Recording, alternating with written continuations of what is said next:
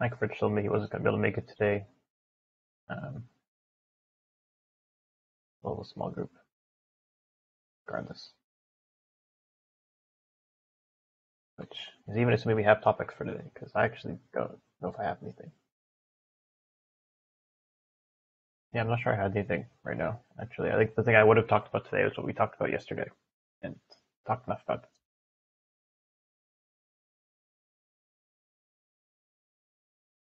Well, wait a minute or so, see if Mike Renaud joins or something, if he has anything, but if not, we might just end up ending after a few minutes. Sorry, my uh, headphones weren't working. Uh, you were talking and I was in the other room and I have no idea what you said except Oh. Redo something. I, I was saying I don't know if I have any topics for this week, and so um, Yeah. if Yeah, if it's just I'll the two of us. I, I, I agree. We, we probably don't need to discuss more async IO.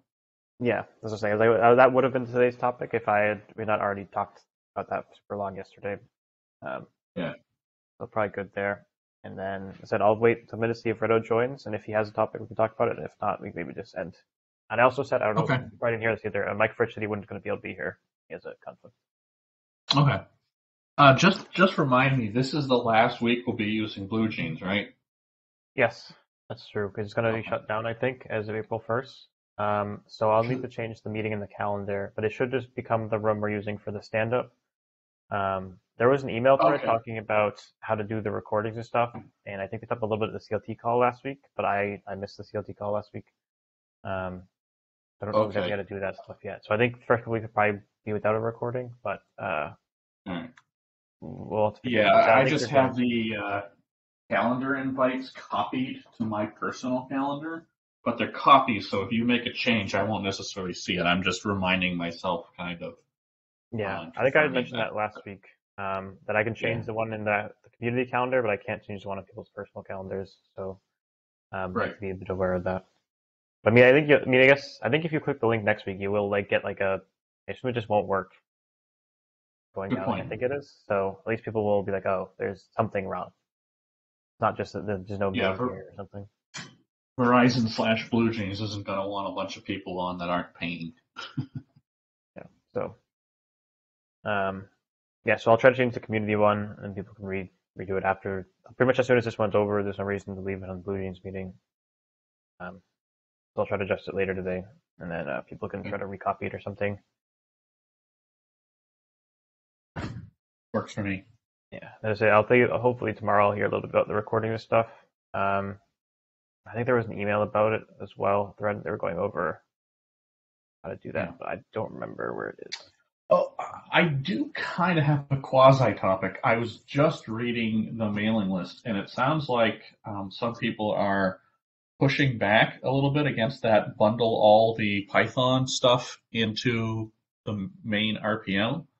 Um, I forget who it was, but Is it uh, that Ceph Manager Dashboard Python dependencies a new approach thread? Yes, that thread. There are a bunch of recent replies. Last time I read that was Casey Bodley, I think, was the person kind of saying, "Well, why don't why don't we do it the normal way?" Which is kind of what I think I had said to you, but in a more defeated. I don't want to put any energy into arguing against it, but um, yeah, was he pushing for Oh. pushing the packages to EPEL or something? yeah, exactly. And then there was also a reply from Kaleb with more technical details about the process, and you know, you're not supposed to put things in EPEL if they're already in RHEL, but I don't understand the process very well. So I don't know why Ceph would have why there might be RPMs in RHEL that don't appear in CentOS. If that's what the problem is, I don't understand why that would happen. But maybe I'm misinterpreting the, the issue. Yeah, I don't know how they would have gotten there um, without ever having been in EPEL. Yeah, but anyway, I just wanted to mention that to you because I know we had discussed it at least over email and a little in person, and uh, there was some more activity on that thread today, yesterday. All right. Um, yeah, I guess I'll have to read through that email thread a bit more later, see what's going on. I said I probably still won't get involved in it, but uh, Yeah. just to see what's happening. Yeah, same. It's one of those. While I I have a preference Uh, it, I remember in the Python community, I don't know if they still do this, but they used to have plus one, minus one, and plus zero and minus zero, and plus zero, minus zero were basically like I like it, but I won't advocate for it, and minus zero is like I don't like it, but I won't spend any energy fighting it. So I'm kind of minus zero on the bundling. Um, I don't care for it, but I don't have the, you know, any um,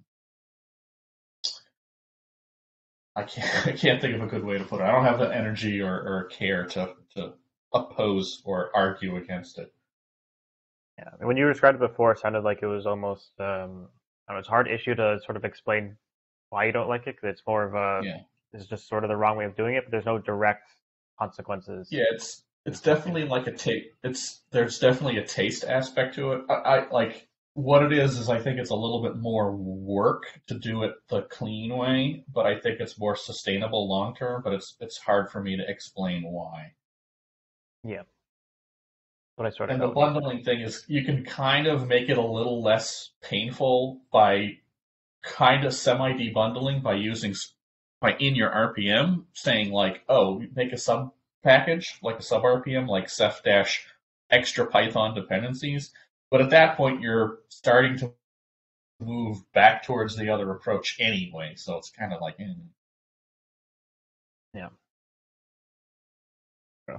I just want to see. I said I haven't read the thread yet, but to see why. I guess they think we can't get Yeah. this stuff to EPEL because they think that was the normal way to do this before. Yeah. Um, well, Ken's definitely in that thread seems open to doing some of the work. So I don't know what the the major uh, stoppage points are.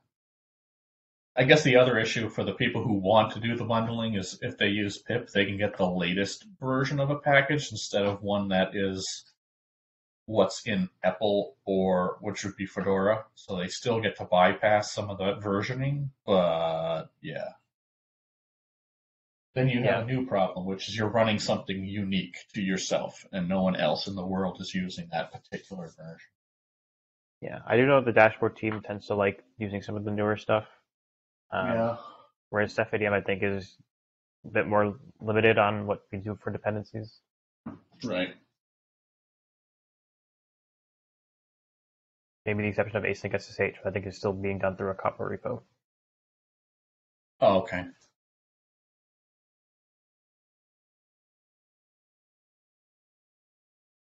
Uh, Yeah, anyway, I just I didn't even mean to discuss it that much. I just wanted to point that out to you.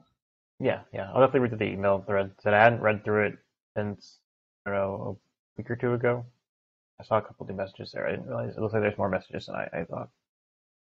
Yeah. I guess it's because a lot of them are in the last 24 hours.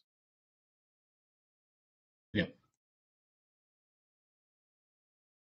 Yeah, I mean, like I said before, um, don't really have any topics. It doesn't seem like for those here, and we're 10 minutes in, so I don't have anything. Yep, works for me. I just have a bunch of silly stuff to do, and then I'm uh, out of the office in the afternoon, so it'll be a not particularly productive day. All right. Yeah, well, in that case, uh, we'll just end it here. So, yeah, see you later. All right, bye bye.